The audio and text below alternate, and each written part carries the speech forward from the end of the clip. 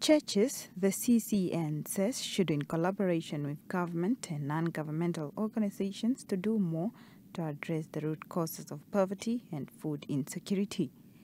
The council is urging the business community to join hands with government to strengthen the food distribution network and ensure equitable access to the nation's resources.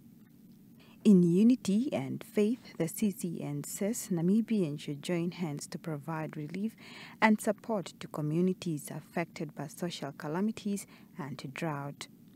It's further called on all churches to provide both spiritual and physical support to Namibians.